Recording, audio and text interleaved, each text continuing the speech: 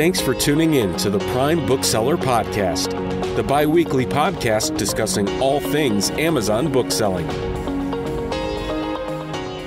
Hey, everybody, welcome back to another episode of the Prime Bookselling Podcast. We're back with another episode, and I'm going to have a pretty short one, I think, today because we're going to deal with a user question, user submitted question. And the question is not too complex, so I will answer the question. Hopefully, I can provide a little more insight around the question to make this an alright length of an episode. But the question that I got in was how I have a question about underlining in books. Mainly, do they sell? I'm not talking about textbooks, but rather paper, business, or reference books.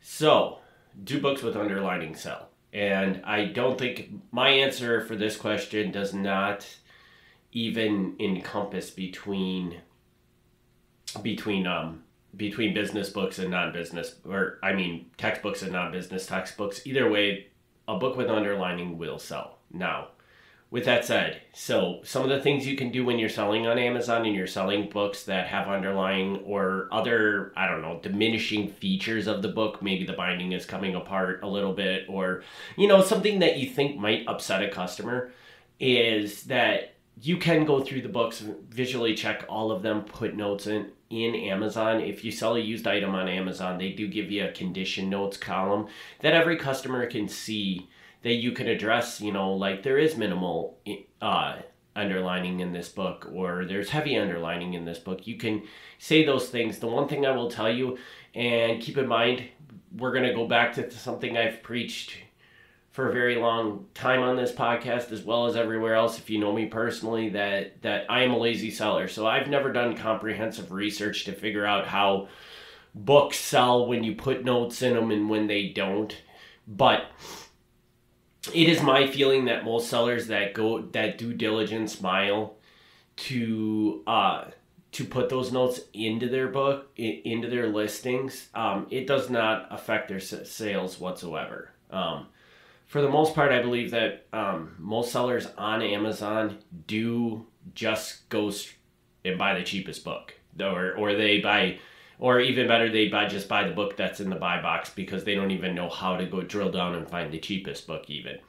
So so with that said, yes, you can put these notes in there, let people know that there's underlining. If you do that, I honestly don't think that's going to hurt your sales because I really think that there's two kinds of it's not going to hurt your sales but and it might help your sales but it's not going to help your sales very greatly because I think there's really the majority of Amazon sellers they do not even read those condition notes that we as sellers put in there. So if you're putting a huge spending in a huge amount of time on those notes, you're probably wasting your time because if you ask an av- average person that buys on Amazon, they don't even realize those notes are there.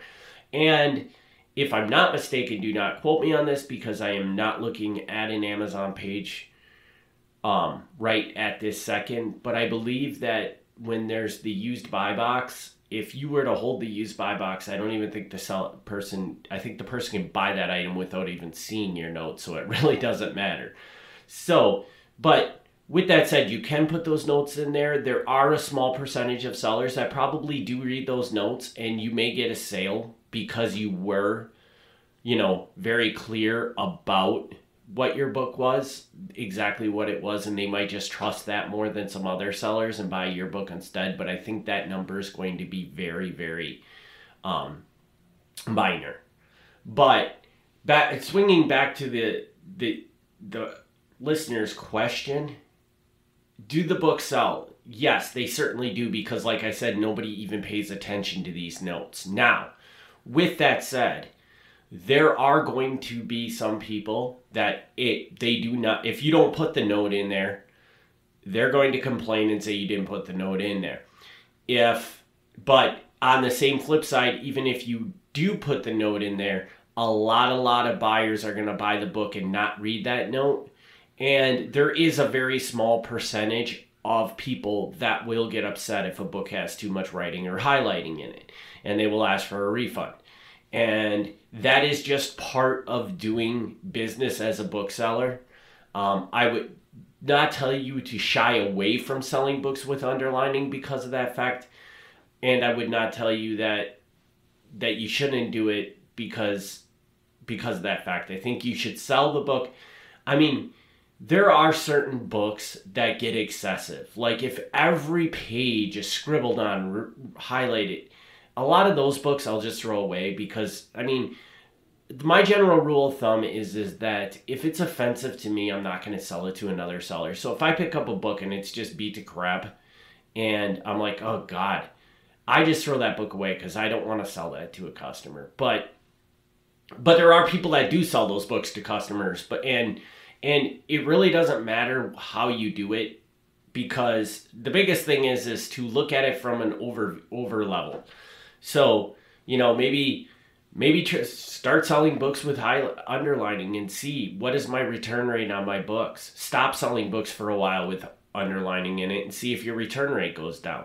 More than likely, it's not going to change that much because it really doesn't matter. So, I mean, if I had to give this seller a suggestion of how to to gauge what you should sell and what you shouldn't, I would tell you to to say what what is too offensive for you. When you look at that book and you say, "Oh," you say, "I wouldn't want. I would be extremely upset if I bought this book." If that's the case, then don't sell that item. And I think if you follow that gauge, unless you're the type of person that's willing to take anything, which I think is kind of an abnormal person, your gauge is probably going to be pretty good. And that you'll probably have very minimal problems with with customer complaints and stuff. I mean, the, the other thing I will add to this is that some of these big time sellers, they have, they're literally bringing in semi loads full of books, dumping them out on a table, and having employees that are paid minimum wage probably go through them, sort them out, figure out which ones are in good enough condition, blah, blah, blah. And those people are always going to do a worse job than you because you're a business owner.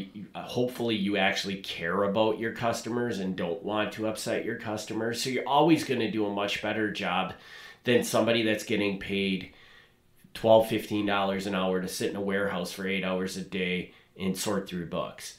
So, if anything, no matter what you do, your system is probably going to provide a better end result to the customer than some of these bigger, large scale book operations.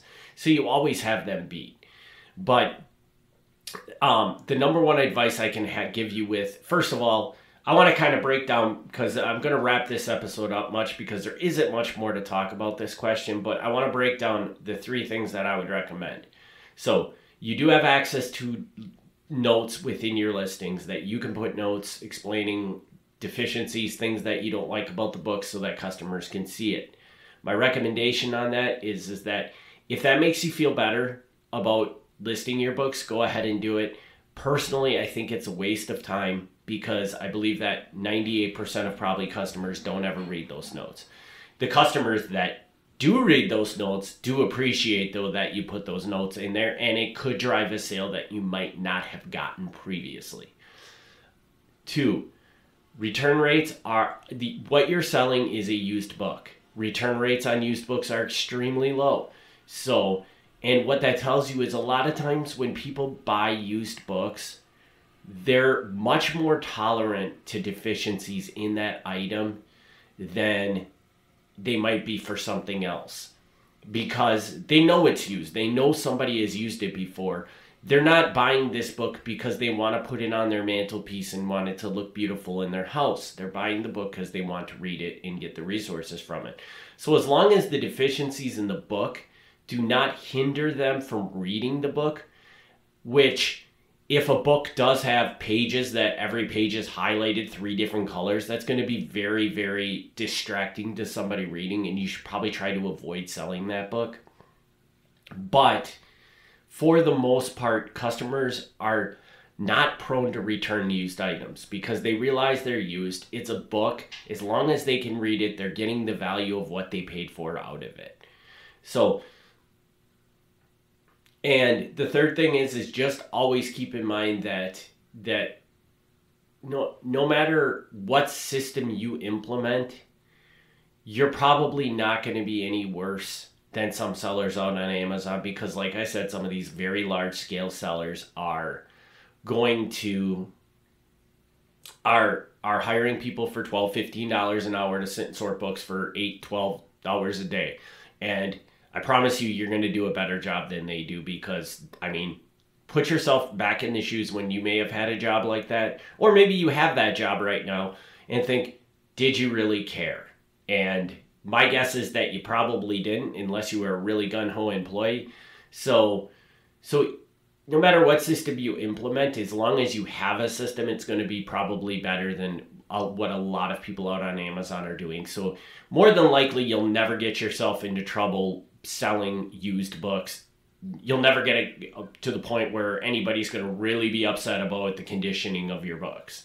So, with that, um, that's all I'm going to mention about that. Um, if there is any questions about this, please reach out sales at kingsridgemedia.com and I'd be happy to answer anything that I might have left out on this podcast. But the biggest thing is is to use your best judgment.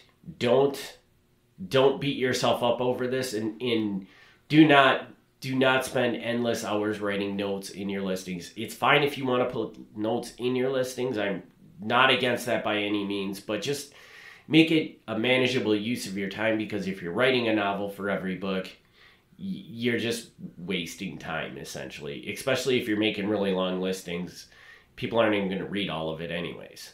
So, um, I do want to mention, as always, we do have sourcing solutions that helps sellers like you get book, access to books through our network of suppliers. So if you're interested in learning about any of them, um, we do have more of a hands-on solution where you cherry pick books from from our suppliers, as well as we have more of an automated solution that just organically brings books into your where or into your business for you.